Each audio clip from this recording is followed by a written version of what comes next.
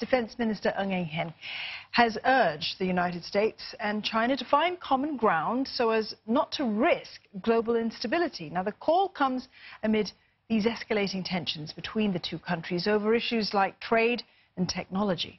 Well, Dr. Ng made these comments at the Xiangshan Forum in Beijing today, and that's a high-level security conference which brings together top military and defense officials.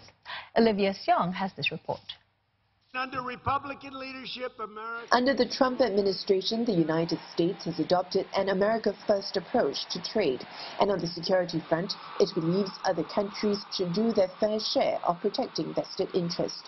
China, on the other hand, hopes to preserve the current multilateral trading system and sees an inevitable need to protect itself as its global interests expand. Speaking at the Xiangshan Forum in Beijing, Singapore Defense Minister Ng Eng Hen said while these narratives are not necessarily at conflict, the world finds itself in the midst of a strategic rivalry. And for this generation, it will be the single most critical issue that determines the fate of the world. The US and China need to find some common ground while agreeing to disagree on other issues so as to not to risk global instability. Our world need bo needs both the US and China, not only to ensure the progress and stability, but also to deal with common security challenges such as climate change, nuclear threats, and terrorism.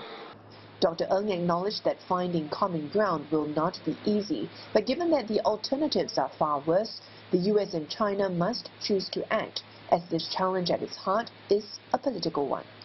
The deepening rivalry between China and the U.S. has been in the spotlight here at the Xiangshan Forum this year, with countries expressing concern over the global fallout. Now, as the list of issues between the two superpowers continues to grow, Dr. Ng said it is difficult to imagine a single winner or a quick resolution of differences. Dr. Ng said the worst consequence could be a destructive collision, whether on the economic or military front. And as a small country, Singapore is keeping a close eye on the situation. For small countries like Singapore, we watch with deep concern as larger powers position themselves more aggressively against each other. Singapore will maintain its strong friendship with both sides, but is also acutely aware that the farther the US and China pull apart, the harder it would be for all countries to keep its principled and neutral position. Dr. Ng added that the world is looking to the enlightened leadership of the US and China to forge a world that is open and inclusive.